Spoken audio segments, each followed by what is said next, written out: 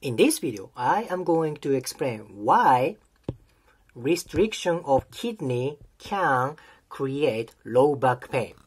Kidney is very, very important organ for core muscles and tight low back and low back pain.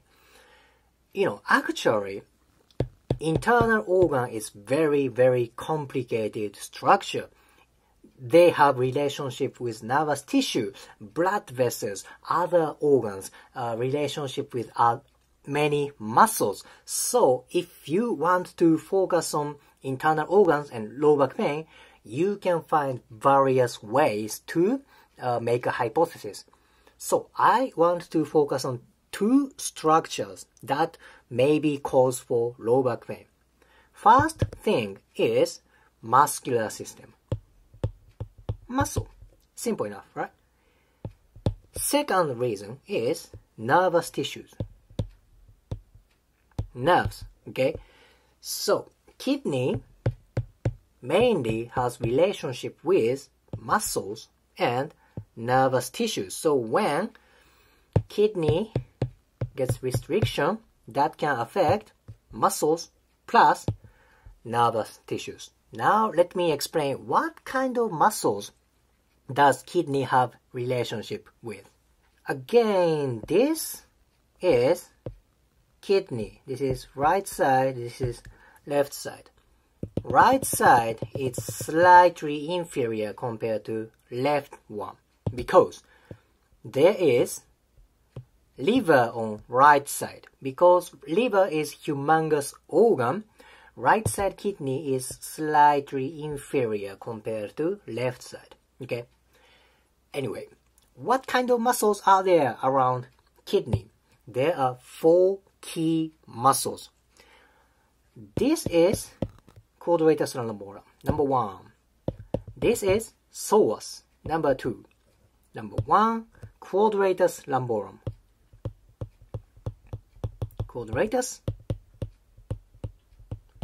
lumborum. Number two is psoas. This is quadratus lumborum. This is psoas. Kidney has kind of attachment surface with quadratus lumborum and psoas. These two muscles attach to lumbar spines. So what happens when kidney gets restriction that may affect quadratus lumborum and psoas. What happens then? That can inhibit movement of lumbar spines, thus low back pain can happen. It's simple, right? Quadratus lumborum and psoas. There are two other muscles. Number three is this one. That is diaphragm. diaphragm. And number four, which you don't see, is like a corset muscle in abdomen. That is transverse abdominis. Transverse abdominis. This is the deepest abdominal muscle. So kidney has relationship with diaphragm and transverse abdominis. These two muscles are not very strong muscles compared to psoas and quadratus lumborum. However, when these two muscles are disturbed, that can lack stability of core. Okay? Diaphragm is not only breathing muscle, but it is important for stability of thorax and abdomen. So is transverse abdominis. Transverse abdominis is very deep and thin muscle. However, it's important for core stability, abdominal stability, maybe pelvic stability, and maybe for thoracic stability. Again, kidney has relationship with these two muscles. What happens when kidney got dysfunction? That can disturb these two deep muscles. Then that can create tight low back or low back pain. Oh my gosh, quadratus lumborum, psoas, diaphragm, and transverse abdominis. By the way, these four muscles are connected. Okay? Even though you don't have to think about kidney and think about these four muscles by themselves, these muscles are connected. So when quadratus lumborum gets tight, that can affect other three muscles. So when psoas gets tight, that can affect other three muscles. Then you can put additional tissue, which is kidney. Now you can make more new idea for low back pain and tight low back. Does it make sense? So kidney is freaking important organ for low back pain. This is part one. Kidney has relationship with core muscles. Thus, that can create low back pain. Next part is relationship with nervous tissues. Okay, where is kidney? Kidney is about here. Now you see new structure, yellow structure. These are nerves, bundle of nerves. These are lumbar plexus. Lumbar plexus. Plexus means bundle of nerves. So, lumbar plexus is from literally lumbar spines, okay? And kidney has relationship with few parts of lumbar plexus, especially around superior part. Okay, okay, that's simple.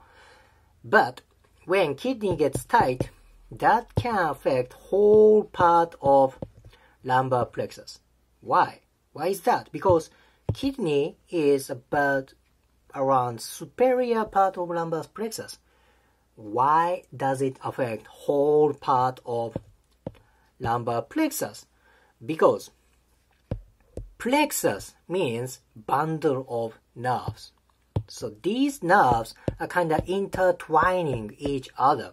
That means this superior part can have relationship with inferior part. Vice versa.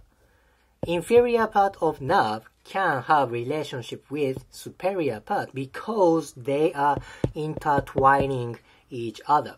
So, when kidney gets tight, that can affect whole part of lumbar spines and nerves, of course, right?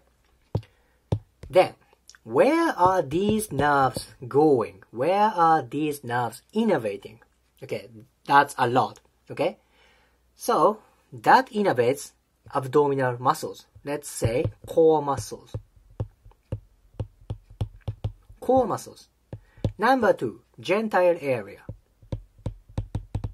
Genital area, especially around pubis, okay? Number three, quadriceps. Quadriceps. And number four, adductor muscles.